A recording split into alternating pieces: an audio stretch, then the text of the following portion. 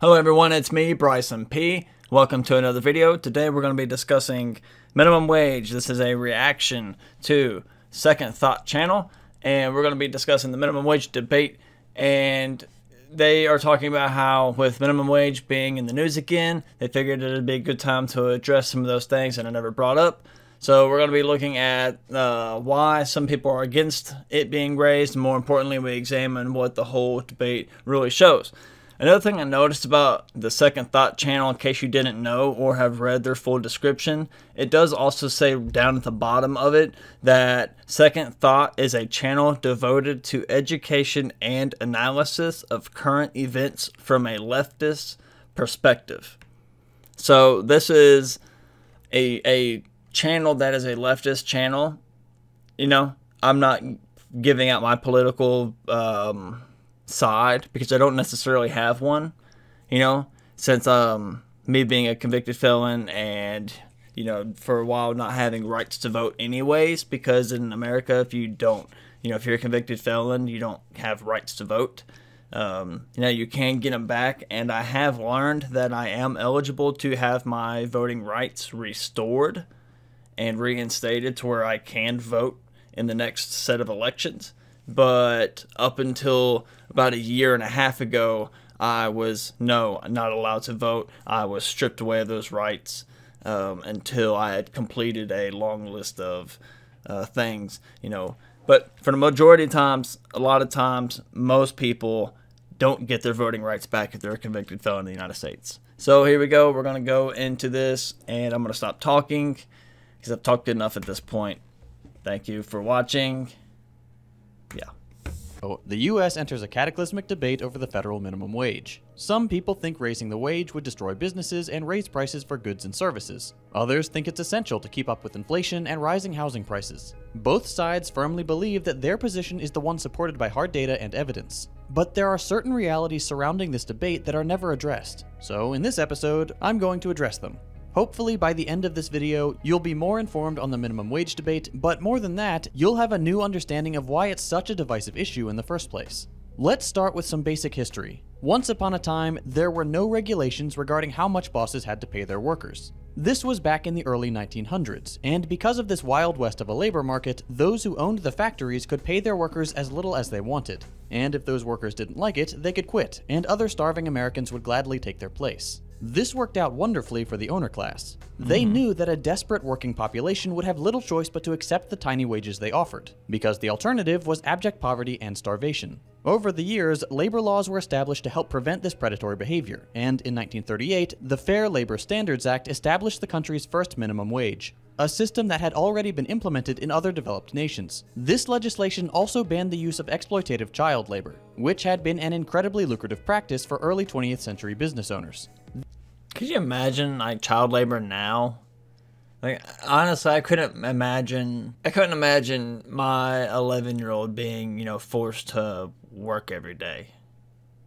Like not not saying work, but this type of you know forced manual labor, like working sewing shirts or making shoes every single day. I know that unfortunately that that still happens. I believe in parts of the world. I just couldn't imagine you know that time period also.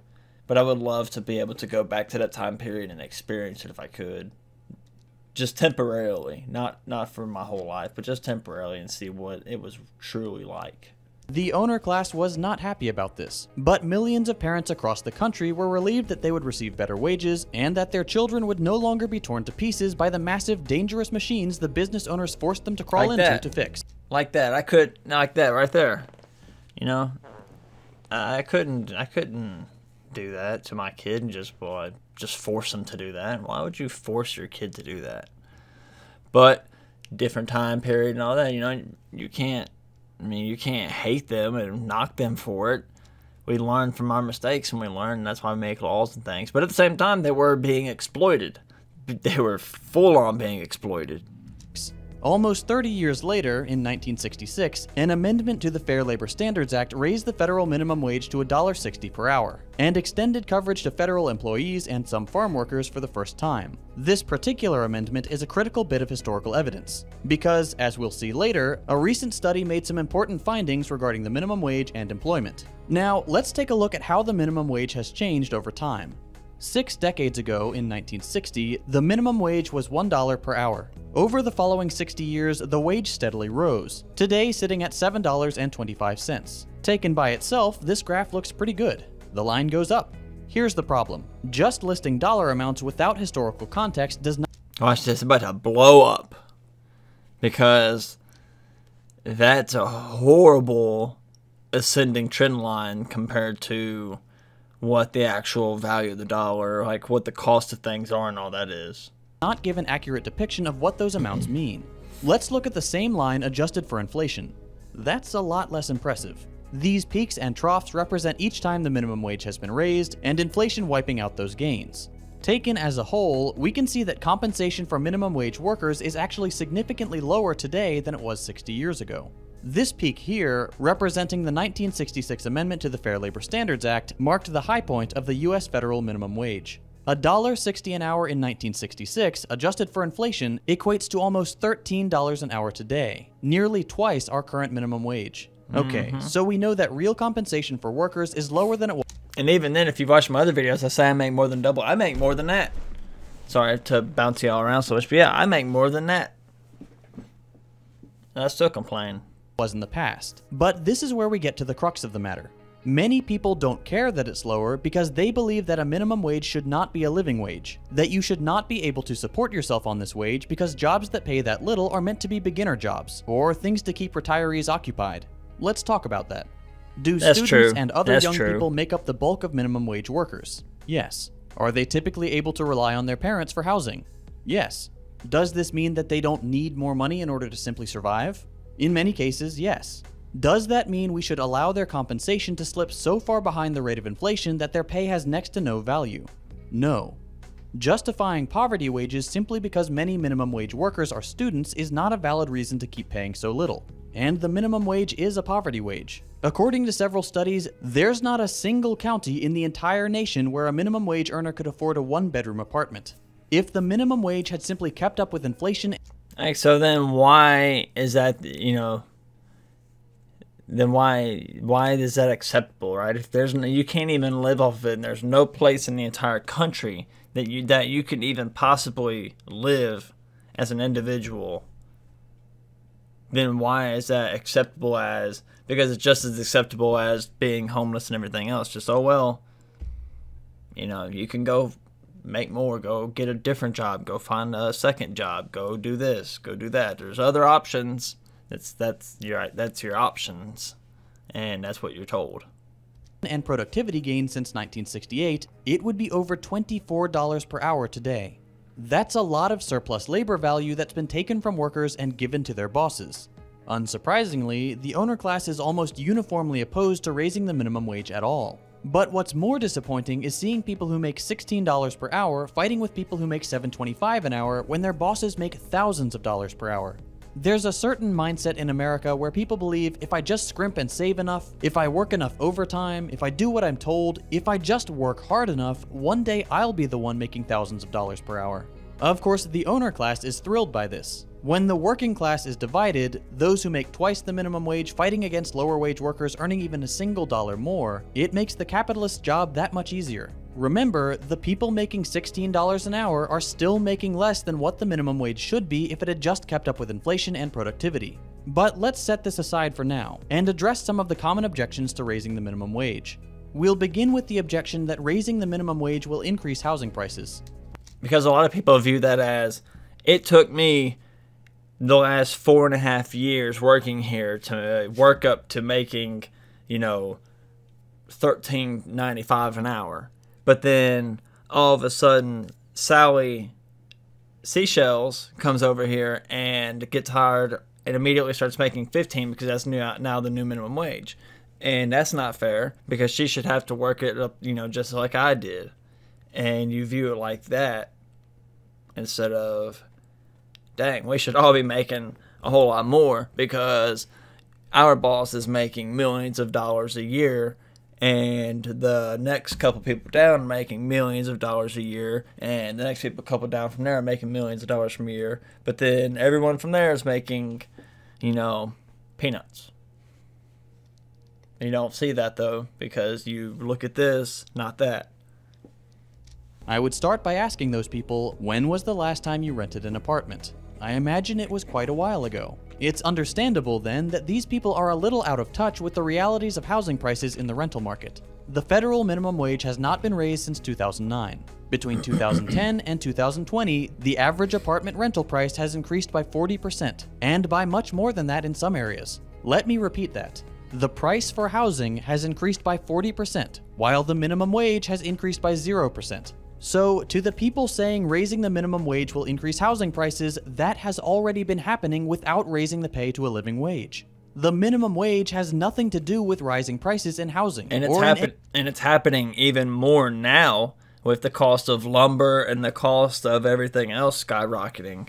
You know, the the cost of wood, uh, building products and all that is outrageous right now. And I believe it was like the cost of a new apartment just in the last six months has gone up by like $300 a month.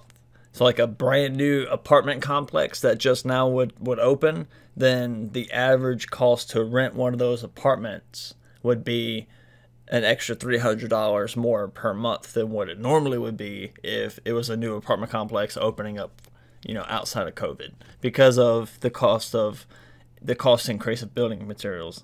But yet here we are still getting paid the same. Any other area. When people say your Big Mac will cost $30 if the wage goes up, they're clearly not familiar with McDonald's pay in Denmark. If you work at a McDonald's in Denmark, your starting pay is $22 per hour. You also get six weeks of paid vacation, life insurance, a year of paid maternity leave, and a pension plan. Their Big Mac costs 27 cents more than in America. 27 cents is apparently the difference between respecting your workers and considering them stupid, morally deficient, low skill workers. The argument that raising the minimum wage will increase prices on housing and goods has no basis in reality. Let's move on to probably the most.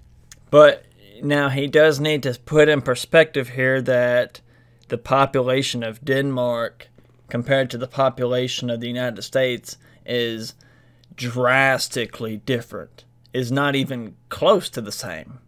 Not even close. So you do need to put that into a perspective that paying you know taking taking the entire McDonald's population of the United States and taking the McDonald's population of Denmark that's completely completely different so it would make things different. It would obviously raise prices because it would have to, but it's not going to make it thirty dollars. That's just not going to happen. That's unrealistic.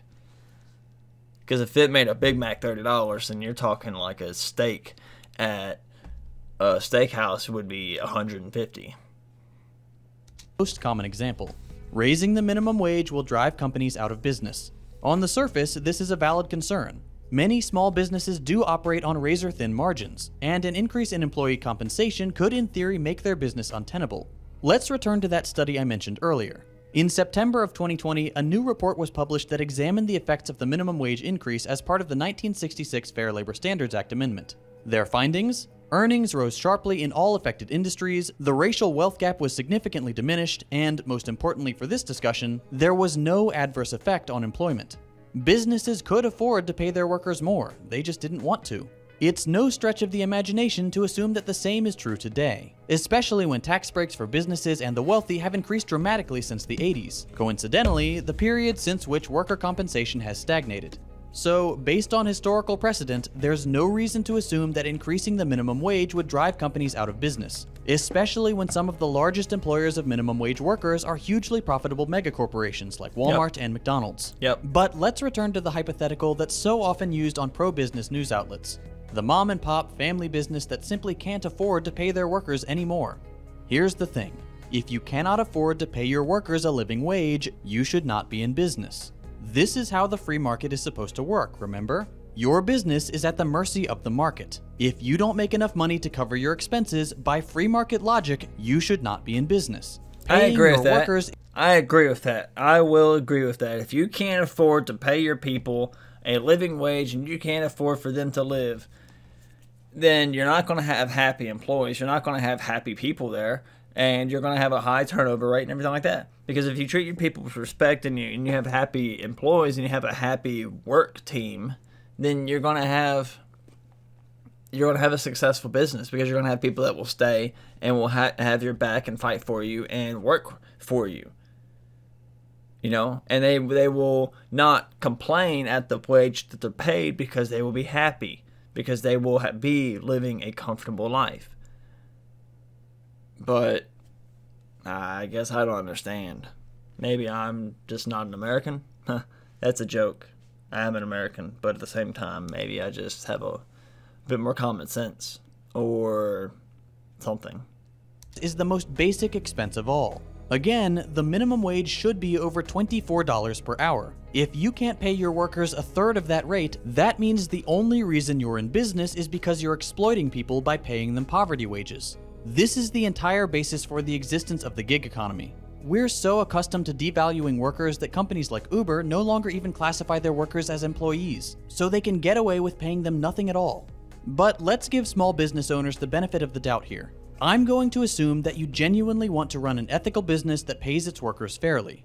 I can understand how it would be a challenge to raise your workers' pay from whatever you're paying them now to $15 per hour all in one chunk. Wouldn't it make more sense if instead of having to raise the minimum wage by large amounts every decade or so, we chose to raise the wage every year based on inflation and other metrics? This would make the change more gradual and manageable, the workers would be paid fairly, and it wouldn't put undue stress on you, the business owner. Other countries already do this. Instead of leaving the minimum wage in the hands of politicians, in countries like France and Australia, economic commissions reevaluate their minimum wage every year. Yeah, and that makes logical sense because right now, for every, I mean, right now, okay, we've not had a minimum wage price increase since from what 2009, and here we are in 2021. You're trying to do a gap up between 12 years. You know, and I I like the stock market. I understand like charts and graphs a lot better than I did when I was in school. But you can't just I mean that's a lot, especially when we're talking like that in economy wise. You're talking about a 12 year gap up. Yeah, you can't you can't just pay people from seven dollars, seven twenty five, seven fifty eight to 15 16 dollars an hour overnight. That's hard. It's hard, and for every year that we wait, you know, you're gonna what have a 15 year gap up and expect to do 15 year gap uh, and pay. How how can small businesses afford that? You can't because they they they then have to do what we have to account for 15 year gap on everything else too. I mean, I know that's not a exact correlation of how it works, but you know, it's it's tricky, but there needs to be some logic here. raising it to match critical economic signifiers. It's no coincidence that countries that take this common sense approach also have a higher minimum wage relative to the average worker's salary. Unsurprisingly, the US ranks dead last by this metric. Okay, so let's assume you're on board with the idea that workers should at least be paid a living wage. That inevitably leads us to the next objection. If the minimum wage goes up, they might make more money than other low paid workers, like teachers. I'm going to ask you to think about that statement for a moment.